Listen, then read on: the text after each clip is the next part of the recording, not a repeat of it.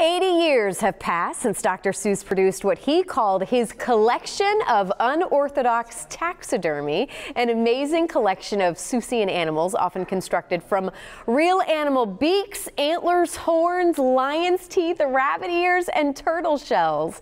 Well, this exhibit is now on display at Syd Entel Gallery in Safety Harbor. And joining me this morning is Susan Benjamin with the details. Good morning. Good morning. I love this. So we just celebrated Dr. Seuss' birthday. I think think there's uh, always, people have always loved Dr. Seuss, but even particular now, I think there's extra special attention and eagerness to learn more about him.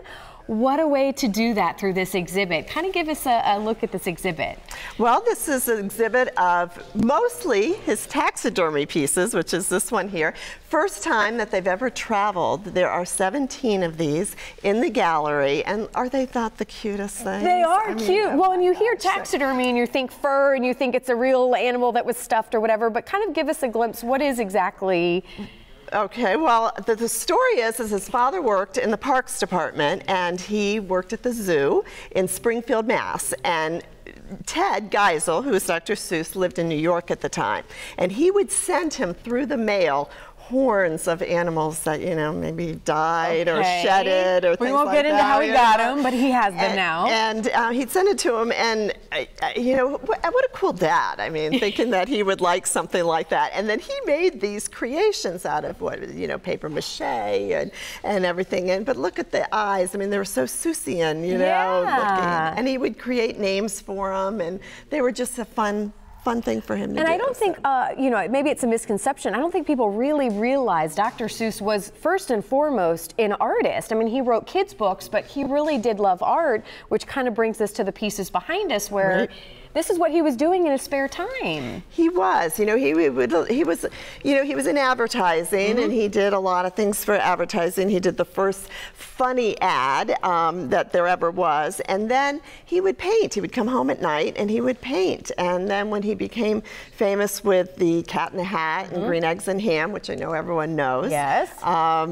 uh, he would, you know, that's when he became really, really famous. But he really did the illustrations for him. He did. And we, I was pointing out to you earlier, if mm -hmm. you mm-hmm. look there, this is a sketch of this piece right here. And if you look at the little coffee right here, there, that's that his coffee, his coffee, coffee mugs. there, so. Wow. And then this piece right here, which doesn't necessarily look like it came from his book over on the other side, but this is artwork that he did. And I love, this is actually a window screen in front of this. Yes, he actually framed it in a, took a window and framed it in a window. And this is, you know, view from a window on a uh, beach vacation, you know, the lady's umbrella in her belly button there. With this uh, exhibit, though, people can buy some of this, right? It's kind of limited edition. Explain kind of what you can, what's available, what people can see and buy. Well, out of the taxidermy, there are three pieces that are completely sold out that you cannot get. These okay. are in limited editions, but the rest of them are available.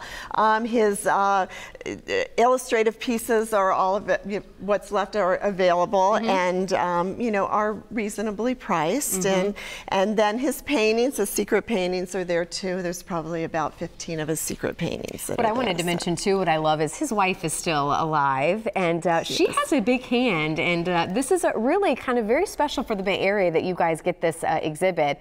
This just isn't everywhere. No, the, only certain galleries are uh, allowed to carry the collection. And Audrey Geisel's his wife. She's in her, we don't know, we're not supposed to tell a lady's yeah, know, age, right? but I think she's in her mid 90s. And she approves everything that is published through mm -hmm. um, the Dr. Seuss collection. So it's very, very carefully done. And Dr. Seuss always wanted to sell art. That was yeah. his thing, but he, he became his so famous in the books. More, more so. popular, but that's all right. Well, again, there are the details to go see the exhibit. Only two weeks, so people need to, to get there uh, fast and as soon as they can. Thank you so much. What an honor welcome. to have some of this stuff in our studio this morning. We appreciate it. Thank you. All right, we'll send it over to Natalie.